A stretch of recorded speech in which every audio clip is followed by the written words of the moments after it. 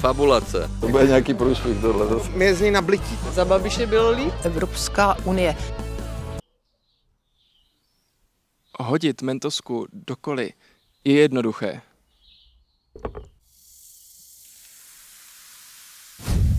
Ale být předsedou nejsilnějšího politického hnutí v zemi a poslancem je, je daleko těžší.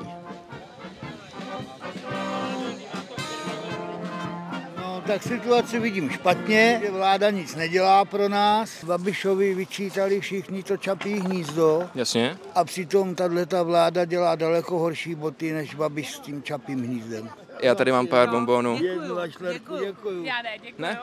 Jsem přišel se na to podívat, já mám hrozně rád fyzickou bolest a jako utrpení a tak. Manželka mě občas bičuje a a tak jako různě si zavírám penis do dveří a tak. Já když to vidím, tak mi je z toho fyzicky jako úzko a, a prostě dělá mi to dost špatně a to já prostě mám rád. Tak jak byste ho charakterizovali, pana Babiše? Čím pro vás je? Jestliže nechcete, abych byla moc emotivní, Klidně, klidně buďte.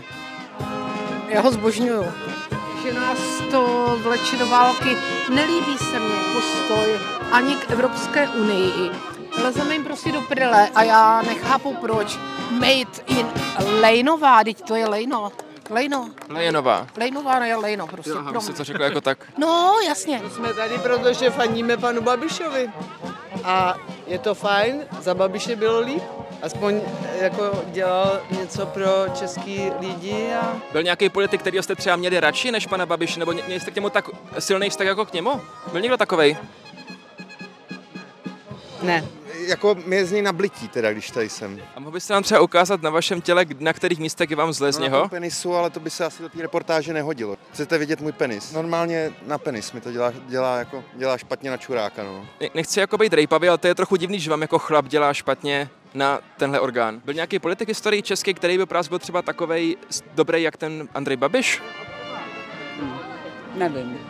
Já jsem se vždycky v tom zklamala. Že všechny jenom slibujou, slibujou, než se dostanou k moci a jak se dostanou nahoru, tak rychle zapomínají. Takže já si tady dám pivko, jako klasický člověk si tady po, po drbu si ponadávám.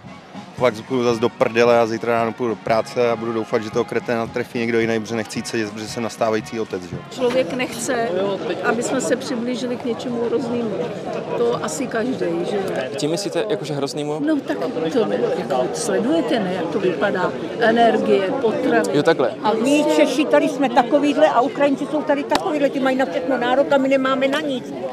tak kde žijeme, celý život jsme tady dělali, platili daně, všechno a pak když potřebujete doktora, tak ho nemáte. Jsme si tady žili v nějakým klidu, začalo se blízkat na lepší časy a najednou přišla taková rána, tak se nedivte, že ty lidi jsou z toho. Mladí lidi si myslí, že starý lidi tady překážejí. To je pěkný pták teda. Jo, jo, špaček, špaček. Pěkný pták. Ještě, ještě jednou. Pěkný pták. Chci se zeptat, byl pro vás v Česku v historii nějaký politik, kterýho byste měli tak rádi jako toho Babiše, který byste měli tak silný vztah jako k Andreji Babišovi? Prezidenta Novotnýho, to pamatuju osobně, bydle vedle nás, kouří mi. To byl prezident dělníků. Kdo se mě teda líbil, tak rozhodně. A kdo byl na svém místě, tak byl David Rád. Že to na něho ušili. Ano. Udělal nemocnici hodně pro lidi, zrušil poplatky. A... Kdo by, kdo by mohl vědět o tom, že tam jde pro peníze? Kdo o tom mohl vědět? To museli být lidi na udání, ano, lidi, kteří o tom věděli, kam jde. Pane Havlíčku, můžu vás poprosit na sílu, abyste si prosím vás tuhletu jenom čepici, jako aby tam bylo to logo. Měl to požádal můj producent a já se ho bojím trochu. Super, dobrý, Jo, díky. Na, na No, hlavu, jestli můžu. Jo, jo. A ne trošku, jo, dobrý. No, dobrý. Ne, jako nechat na ten rozhovor. No, tak dobrý. Jo, jo, tak dobrý. Důchodová reforma. No. Můj návrh je, že bychom zavedli daň ze stáří. Že v podstatě čím by byl člověk starší, tím by platil vyšší daně a tím bychom motivovali lidi, aby nestárli a tím pádem by nešli do důchodu. No. Komentář váš? Můžeme platit daň ze vzduchu, můžeme platit daň ze stáří, můžeme platit daň za těhotenství. Výborný. Ne, ne, ne, těho, ne se motivovat právě, aby byli malí děti, ale Neříkej mi, neříkejte mi ano nebo ne, vy jste se mě ptala, já vám odpovídám. Jo, no, ale je prostě ze stáří, že by ti lidi prostě jako potom, neříkám, že by jako stoprocentně všichni jako přestali stárnout. No, teď já vám říkám, můžeme platit daň ze vzduchu, můžeme platit daň z těhotenství, můžeme platit daň ze stáří, můžeme platit daň za to, že je někdo chlap, za to, že je někdo ženská. Vy jste, vy jste, vy jste v opozici rád. Já nejsem v opozici, já vám jenom argumentuju. Jste, jste v opozici, jak kdy to byl vtip, jako že jste v opozici jako... Tady v Kolíně, když se podíváte, tak je všude paskvil. A oni lidi musí tahat kočárky po schodech, oni zasypali, zasypali podchody. Já musím za sebe říct, že já jsem dneska přijel na nádraží sem a ztratil jsem se třikrát, takže... Paskvil, tam není úschovná, tam není, eh, eh, jak se jmenuje, děkuju. Eh, Vaše vláda a současná vláda se potýkaly s jevem eh, takzvané eh, felace. Co s ní dělat? Co udělat s felací, aby se snížila? Ježiš, to se musíte zeptat někoho, kdo je na to lepší. Já v tomhle tomu plný zkušenosti nemám. Je ta felace dovezená, je z Česká, jak to je? Spíš bych řekl, že je dovezena. A je teda dobrý ji snížit nebo spíš zvýšit? Jaká je ta správná míra felace?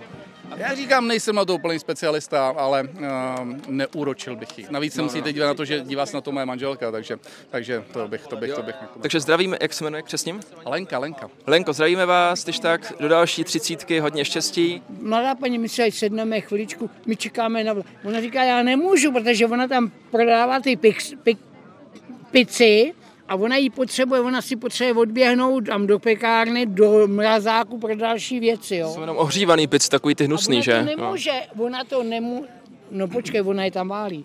Ale, ale pozor, A co byste dělali, kdyby se stal prezidentem? Asi já nevím, já odsaď nemůžu teď utíct, abych se odstěhoval. Já radši bych řekl, že se odstěhuju, ale to nejde, jo. Mám tady rozjetý nějaký podnikání, čekáme dítě a tak. Budu hrozně nasranej, no. A doufám, že všichni mladí Vaše lidi- dítě, který se narodí teprve, Hmm. tak bude mít možná do pěti let, čili celý předškolní věk, bude mít prezidenta Babiše. Komentář? Z toho mi ještě hůř normálně, jako ten penis asi upadne za chvíli. Tak já vám dám na tu bolest uh, hašterky. Ne, to já nemám rád. Ani, ani Slávě to... Mm, ne, děkuji moc. To ne. Tak třeba pro to vaše Ne, robátko. Já, já si dám pivko a na robátko si dá taky pivko. Tak jo, je, už mi to spadlo. Já už mám hroší kůži. A na druhou stranu mám řeknu, že už mě to ani nezajímá, co tady bude. Nebo třeba budoucí generace, jestli... O tom se tady strašně moc mluví o budoucí generaci, když se na to podívejte, co ty budoucí generaci tady připravují.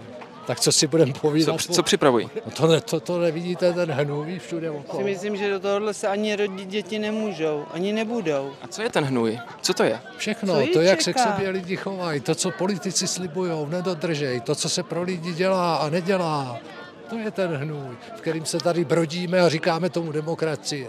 Jak si tady krásně žijeme.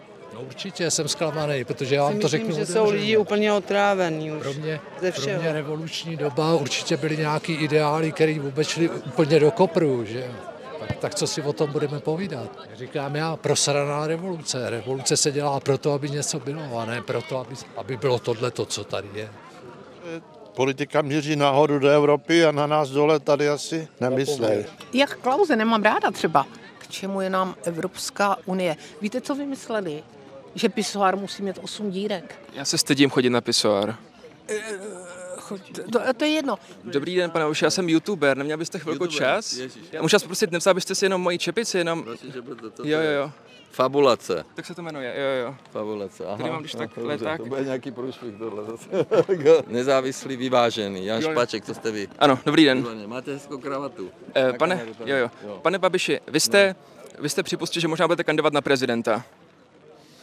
V podstatě mnoho lidí říká, že byste možná neměl kandidovat, že se na to nehodíte, že nejste ten typ. Naši voliči to taky říkají někteří, no. Tím, jak kritizujete třeba ten polistopadový systém, že, že to třeba není vhodný, nebo tím, jak kritizujete tradiční strany, nebo taky tím, jak... No ale eh, oprávněně, pan Kole, oprávněně. Jasně, jo. pohoda? To teďka nespochybňuju. No, pohoda to není, protože oni všechno rozprodali do zahraničí a v našich rukou už nemáme nic. Jo. A nebo třeba taky, jak prosazujete více experty vůd proti politikům. Tohle všechno vám lidi třeba i vyčítají. Tady byl jeden politik, který tohle všechno měl společného s váma. A ten se jmenoval Václav Havel. Který měl, jak, co měl společného? No, že kritizoval částečně ten polistopadový vývoj, no. byl proti politickým stranám, no, tradičním, a taky prosazoval třeba tu Založil- expertízu. založil fórum občanské. Ano, ano. By se dalo říct, že pokud vy budete zvolen prezidentem, pak, že budete kandidovat, tak je to vlastně takový návrat havlovské tradice na Pražský hrad. Ne, ne, ne, prosím vás. Já říkám, pa, prezident má omezené pravomoci, eh, takže samozřejmě všichni by chtěli, abych kandidoval, aby zase vznikly ty různé demonstrace. Ale je to takový no, návrat k etosu Ne, já to nevidím. Já mimochodem i, i s panem Havlem jsem byl na obědě, i mě pozval na jeho narozeniny. To by Pražská kavárna nechtěla vůbec slyšet. Jo? Já jsem manažer, já jsem obchodník, takže neumím dobře mluvit. My jsme, se může zdát, že jsme každý trošku jiný, ano. kromě těch čepic, ano. ale není to pravda. Teda jako vy jste, vy jste starší člověk, já jsem mladší člověk, no, vy jste, vy jste jeden z nejbohatších Čechů, já jsem jeden z nejchudších Čechů. To není o bohatství. Jako... Ne, já neříkám, já jsem A taky kolik, spokojený. Kolik vám je let? 23. No vidíte.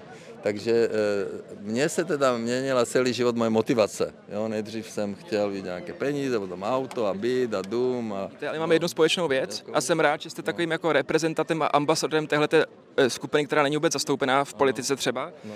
Vy a já máme podobný typ postavy, jako fyziognomický, že je to jak kdyby postava tvaru hruška. Jo. To je pravda, no. A mě se strašně za to smáli třeba v dětství, no. ale když jsem vás viděl, že to máte to taky. po mojí mámě, no. Já taky. No, a to je blbý, jste... jako. No ale já naštěstí nedělám promenádu v plavkách, když kandiduju, jinak bych neměl voliče. Takže jako... Teďka tím, že chodíme a všude jsou, pečou nám lidi buchty, teďka jsme dostali rakvičky a koláče, tak jsem zase přibral čtyři, no ale chystám se na dovolenou, tak musím držet tu kondici. Já taky přibírám na ty boky jenom. Ne, no, no. Strašný, že? No tak vidíte, tak máme společnou téma.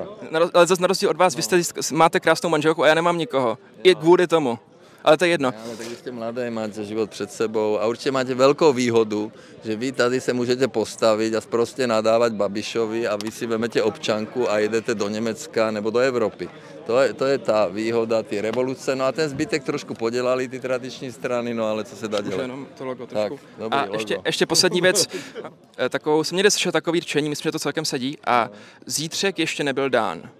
Včerejšek je ten tam. Dnešek to je dar. A jak kdyby, ne, pardon, se to je z Kung Fu Pandy tohle, ale jsem chtěl říct prostě, eh, dokud, eh, neříkej hop, dokud neskočíš, jsem chtěla kdyby říct. No. A teď nevím, co jsem tím chtěl moc moc říct, jsem se úplně toho zamotal. No. Každopádně, uh, jo. ale já vám jo, rozumím, jo. my jsme byli Aha. před dneska na Hrádku, že je teda zařízení pro lidi, kteří jsou mentálně postiženi. Jo, můžeme děkovat Bohu, že, že žijeme, že každý den se probudíme, že máme zdravé děti a, a to je dar, no. To máte pravdu. Tak vrátím vám čepici. Tak těšilo mě, pane. No. Naschranou. Tak já vám strašně moc děkuju. Tohle bylo dnešní video a uh, nezapomeňte, uh, zítřek ještě není dán. Včerejšek je ten tam. Dnešek je ten dar.